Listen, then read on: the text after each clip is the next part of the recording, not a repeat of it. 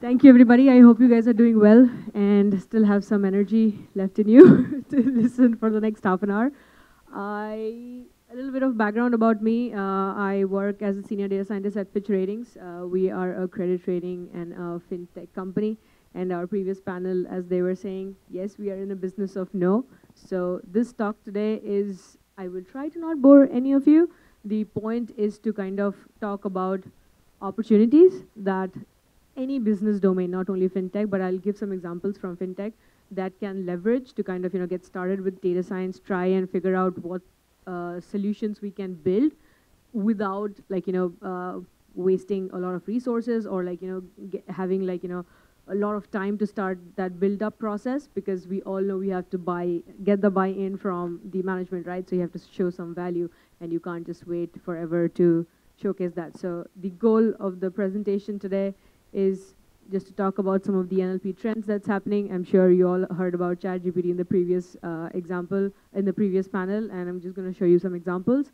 And then talk about this technique of transfer learning in NLP, that a lot of the business use cases that we see uh, across industries, uh, also in fintech, uh, is ve that's very relevant.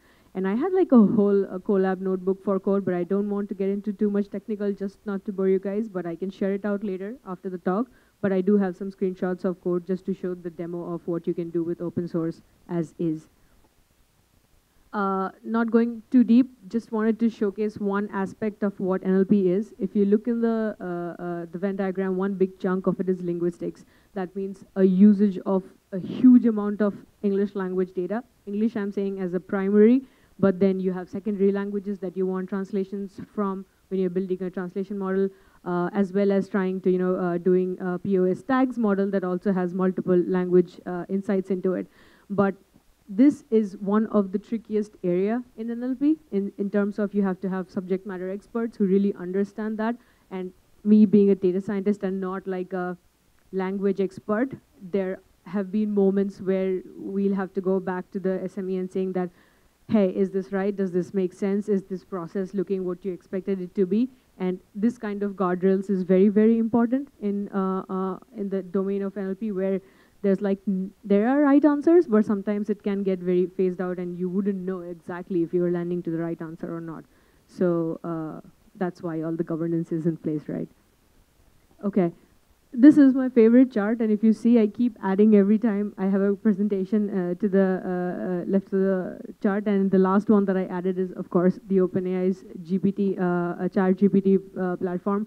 But the point of this chart is to show that in the last maybe, how many, like maybe four, three, four years, the exponential growth of some of these language models that have been released by big tech companies like Google, Facebook, Microsoft, OpenAI, they are they are there for everybody to leverage. And I think this is the best thing that has happened in tech because sometimes when, say, you are a startup or even companies like us, like when we are starting to build a product or uh, uh, trying to solve a problem, not necessarily you have the data uh, in the right place or even the team in the right place. So how much, how much uh, uh, can you, you know, uh, build from scratch? So those times are gone, and I'm so happy for that. Going forward, this is like a very, very good visualization uh, that Google released in one of their recent papers just to showcase the industry adoption and the type of problem that NLP is solving these days. So if you see the growth, the billion parameters is the parameters used to train a pre-trained base model. And on top, on the tree, uh, you would see the, the use cases. So starting from question answering, uh, arithmetic, code completion, we already saw an example uh, uh, with ChatGPT, right? Like if you're asking them that, hey, I have a bug in the question, can you help me solve? It is able to find the bug and say that, hey, there's a syntax error, or there's like, you know, missing a parenthesis. So these kind of things are actually getting already implemented. And then there's, of course, uh, summarization, language understanding, uh, translation uh, for the use cases. We're going to be talking about question answering today at the later part of the talk, but I wanted to understand from you guys. How, how do you guys feel about NLP? Do you guys work in that? Started implementing some of the open source or like, you know, played around with the open source technologies? Uh, anybody have any experience on doing that or no? Okay. Uh, well, what kind of tools are you using? Like, uh, is it just like calling in from Hugging Face or pre-trained models? w- would you mind sharing like what kind of use cases have you dealt with before? Customer behavior. Absolutely. So basically, intent classification, trying to you know bucketize based on uh, uh, their uh, requirements. That's great. Okay, so I'll skip over to this example first. Uh, if you see, I was asking, uh, and it was in their paper as well in the Open uh, AI ChatGPT that it says that the user was asking, help me write a short note to the uh, to introduce myself to my neighbor. So it like wrote a very nice hi there. I just moved in. I, I hope all of you can see it. It's kind of small. Sorry about that. And then the next question was, can you make it more formal? So do you see that you are not even I'm sure all of you have used Alexa, and every time you have to use it, you have to say Alexa and then the full question. But do you see this is like a dialogue? You are not repeating the question anymore. You are now saying, just prompting it that based on your previous answer, can you make it more formal? So it looks like more of a, like how would you talk to a person, like a human uh, uh, uh, way of talking about it. And that is the biggest hurdle that natural language understanding and natural language generation is trying to get through to and I'm pretty positive about some of these results. There is a lot, lot to fix here. If you try some of the other questions, like please look up in Twitter threads, they have like obnoxious kinds of answers that come out, but but it's going to be there, right? It's the first iteration. You need to train it. You need to have human QA. But that's the point that you uh, develop iteratively, and uh, this is like a pretty good answer, right? Like when you say make it fo- more formal, it says that hey, I moved in recently, and it's in a very nice formal way versus the previous one where they were like, hey, I just moved in next door. So uh, very fascinating. So the next couple of slides, I'm just going to talk about where we are applying most of the NLP and some of the use cases so that you get, like, you know, the takeaway from it should be for you to think that do you have a similar situation in your organization? Is there a way that you can solve for that without trying to build everything from scratch, right? Uh, before that, I- I'm sure you saw the title of my presentation, right? It was pretty big, and I was like not really happy about it after I submitted. So I was just asking that, can you like you know highlight use cases of NLP? Again, asking it to ChatGPT and make it look like it's a conference talk title. So if you look, all of these are ways that NLP can be useful in the fintech. It says uncovering financial fraud with NLP, colon a case study in fintech. Sounds like a perfect uh, title, right? Conference. I was like, oh, why didn't I ask it before? I would have got a better title and then uh, personalizing the investment experience with NLP, revolutionizing customer service, like uh, you already mentioned some of the use case here. So very fascinating. So you are kind of trying to build in, uh, so it's giving you the answer, but in a format of a title. You can ask it in any way, and I would encourage all of you to guys, please go and uh, take a peek at it. And then I just had to ask. So I was just asking, can you now explain this like a 10-year-old? So now it says that it can help companies catch people who try to do bad things with money. Well, makes sense, right? You, you can tell what you're trying to do to your kids or family or your mom uh, who doesn't understand the field. But yeah, very, very uh, uh, significant, I would say, advancement in the way that we understand language. Now, now the this is the more crucial thing, and some of the areas that I have already worked on uh, in other different industries as well. So my background is also from ad tech and media tech. So that was a very fast-moving, different kind of a data, huge flow of uh, real-time data that we were observing. But fintech is a little different. But then we have like similar use cases here. So first would definitely be customer service, where you are doing like virtual assistants, chatbots, trying to like you know create a conversational uh, uh, uh, value uh, with your customer without them trying to like you know set up and talk to customer agents all the time, which can take time as well as human resources. And then CRM optimization. This is one of the big big chunk where you see in in business and in sales and marketing team you have multiple channels that you talk to your um, clients and would-be clients, potential clients, or even ex-clients, right? So if you are able to kind of combine that end-to-end communication channel into one, you can definitely then leverage different kinds of uh, data mining, NLP techniques, to, to kind of then find patterns that, okay, why did we lose uh, that particular client? Did they have like some other, uh, did my competitor had something else that our company didn't have? So those kind of insights you are able to find much, much easier and quicker than like somebody sitting and trying to find and dig through the data uh, uh, manually.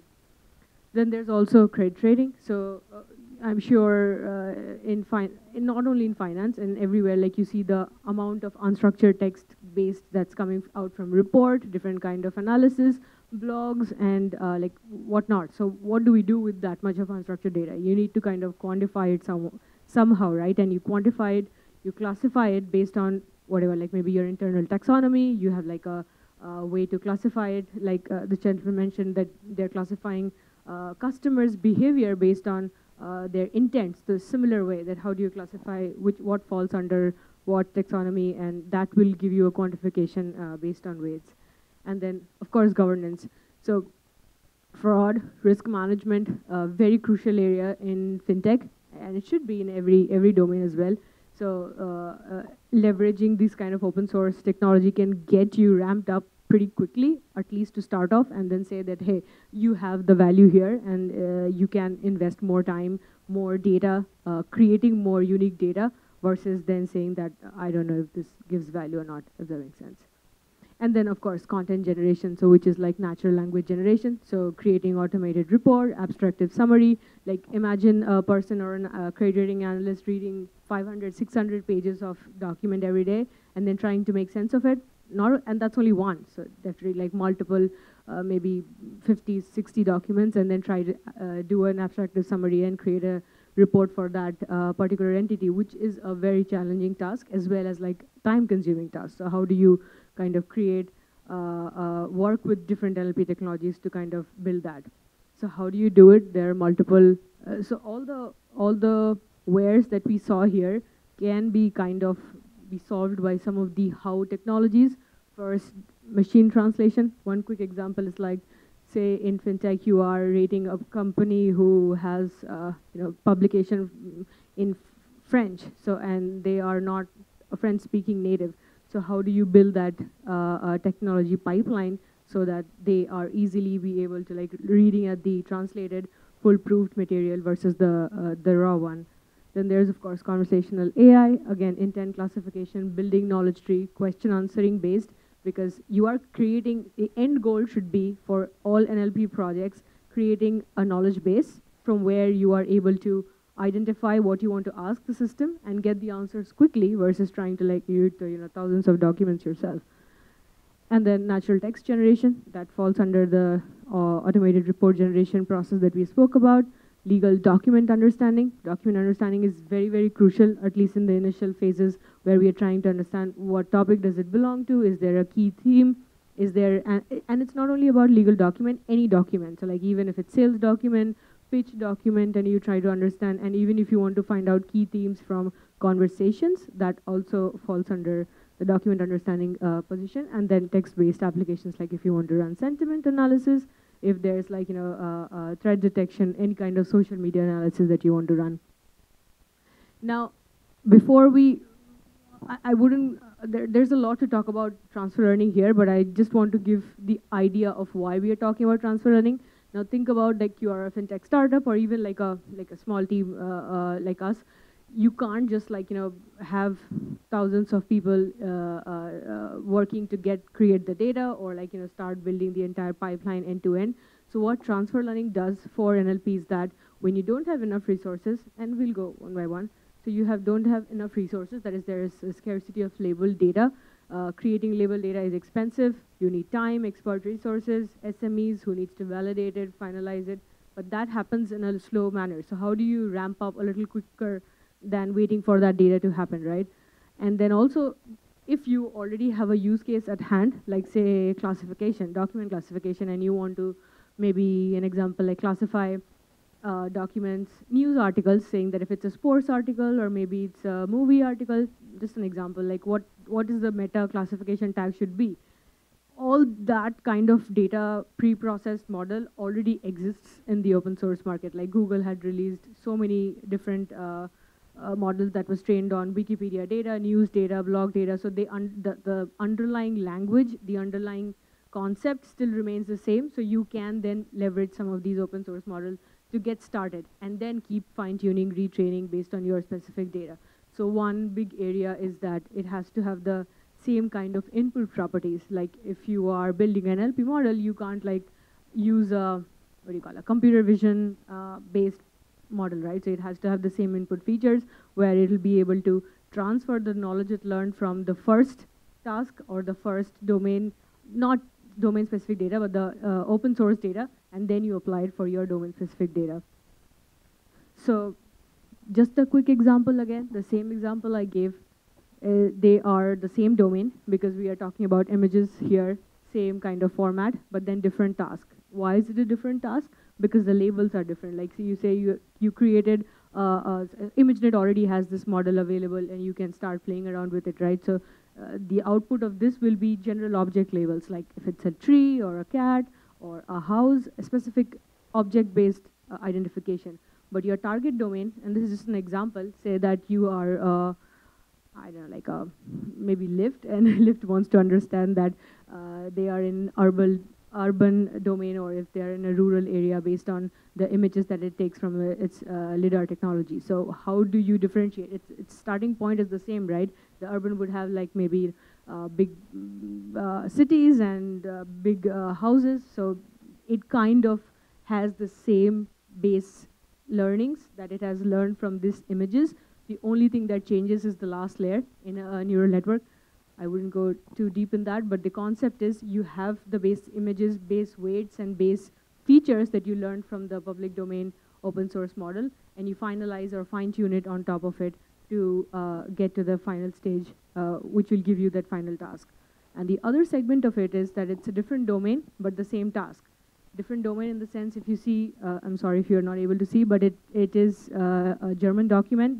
The, it, both are text, but then one is German, one is English, but then your source tag is that you want to do a POS tagging, which is a you're uh, tagging if uh, the part of speech for each of these individuals. So you need to have like a translation pipeline in between just to make sure that uh, you are uh, at the same page when you're doing the POS tagging. Now, how can you leverage some of the off-the-shelf pre-trained models? And I think uh, I, I, have said this enough in all the talks that I've given is that Hugging Face, I think, has changed the way open source AI community works, implements some of these use cases. They have like, uh, if you have not, please feel free to go out, check out their uh, data sets. They have list of data, list of possible ways of how you can solve, like even for question answering, and then also uh, uh entire community of people uh, submitting their own model. So if somebody has exper experimented with something, found good results, they will host it and you can do some inferences on that as well. So you basically leverage those pre-trained model weights so that the extract uh, you can extract the features. In the previous example, like I said, the images uh, images features, you replace the last final layer to create your own classifier. That depends on your what kind of data you have, what have you be able to build, and then you freeze the rest of the model's weight just so that you're not, you know, uh, updating any of the previous training models. This is one one way of doing it. And then the other is like, of course, uh, you just do off-the-shelf plus augmentation, which is like you have now been able to, you know, create some well-defined targets. You have like, you know, new SMEs coming in, helping you build that process a little step by step. So then you kind of retrain without freezing the layers completely, retrain, and then uh, update the last layers to focus on that specific task that you want to uh, solve for. This is just a visual representation of all the text that was here, but I wanted to segment it out just so that it focuses on the key areas that we just discussed. If you see from top, uh, uh, the first step is definitely feature learning, where we have the training images from ImageNet. Uh, the source task is, of course, uh, building the entire deep learning network, convolutional layers, fully connected layers, and if you see the final output, like we discussed, they are very general image-based objects, specific objects. But when you do the transfer learning parameters, now you have a, you did the transfer learning, but you have a knowledge base available with you, right? You already have learned all the weights that you have downloaded here. The only thing that you're doing new is you're updating, sorry, you're updating urban, rural image dataset, and with the new training image datasets, and then that's creating the FC8A, the last green layer that you're creating on the last end and that's able to help you to kind of differentiate between the uh, classification you did in the first one and in the second one. But uh, yeah, we'll not get into any detail. Just key things to highlight. So we already discussed about that. Why are we doing this? It's giving you an initial like skill of the model, right? Your model is not starting from scratch. Uh, I'm not sure if you guys remember. I think two, three years back when we were building models from scratch using Word2Vec, those were like my nightmare days because there were no data. There was like all the, and Word2Vec had like a very uh, issue of out of vocabulary issues. So if there's a new training data or a new word, it's not going to fit into that. So I'm like, how do I make sense of it, or how do I like make my model more, uh, you know, better, quicklier? So this is the way. So using, utilizing some of these open source uh, uh, models and then re retraining and relearning on top of that.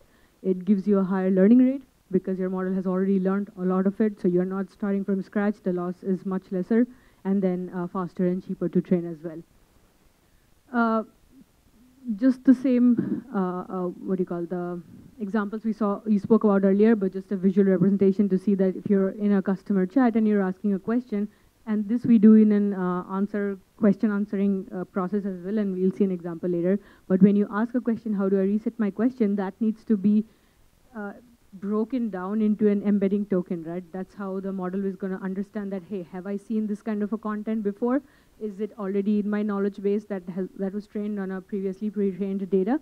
And then if yes, then you kind of have that intent classification coming from either the previously answered data or is it already there in the training knowledge base system? And then you kind of return top three based on like maybe a, you do a document score, a similarity score, and then return three most similar saved answer that was found in the uh, knowledge domain.